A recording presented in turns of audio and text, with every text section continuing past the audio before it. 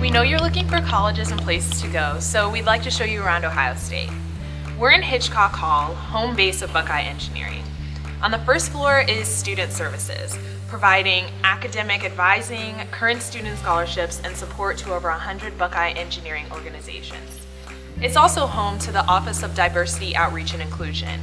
They connect students through mentoring, faculty meetups, academic coaching, and the Diversity Company Social.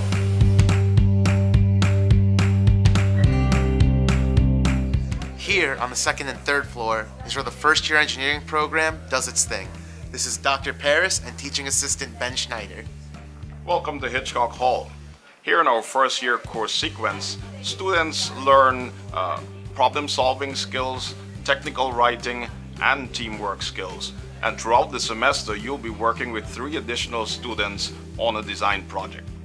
You'll also benefit from awesome teaching assistants like me.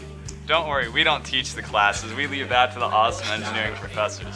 However, we'll be around if you have any questions during class and have office hours and conduct review sessions. Our first year engineering program is ranked among the best in the country. Awesome professors like Dr. Paris are a big reason why.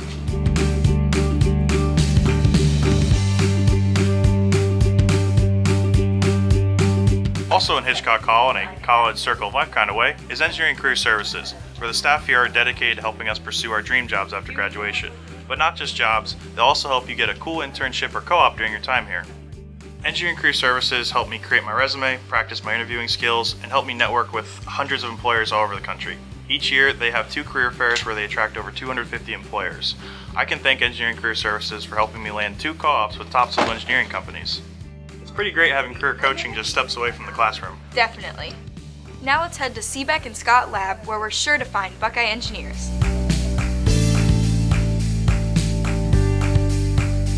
As its name implies, the Chemical and Biomolecular Engineering and Chemistry building is the home to two departments. It emphasizes collaborative innovation between students and faculty. Oh, hey, Dr. Tomasko. Hey, Alison. Do you have a second? Sure. What's going on? As a chemical engineering professor, what do you think makes CBEC so special? Oh, well, it's a great new building. It's full of natural light. We're standing here in front of the Unit Operations Laboratory, which, as you know, is the heart of the chemical engineering curriculum, and it's a place where students are able to put into practice the things that they learn in the classroom.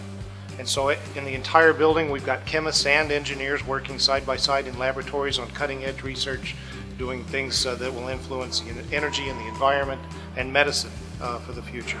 So it's a great opportunity for undergraduates to get involved in research as well.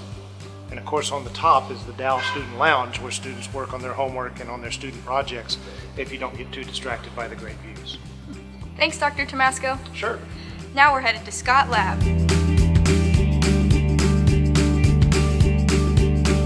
From one cool engineering building to another, this is Scott Laboratory, where many engineering students take their core classes. It contains computer labs, research areas, student project rooms, and classrooms. Guys. Hey, Hey, Olivia. We're just studying for electrical engineering. I'm really glad we're going over this problem today. It was really messing with me last night, and the exam's this Friday. Yeah, me too. Hey guys, I think I've actually got this one figured out. Well, I'll leave you guys to it.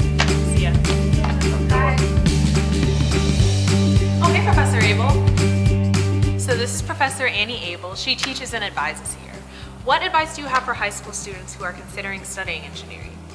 Well, I would say ask a lot of questions, whether it's of your school counselor, the admissions staff here, or the current faculty um, and students at Ohio State. There's a lot of people that will support your success. Once you get to campus, keep asking questions. Engineering is all about problem solving and helping people. Thanks, Professor Abel. All right, see ya. Come on. Thanks for letting us show you around Ohio State Engineering. We'd love for you to visit, but we know it can be hard to get away. Keep studying hard and being a leader in your school and in your community. Oh. I know.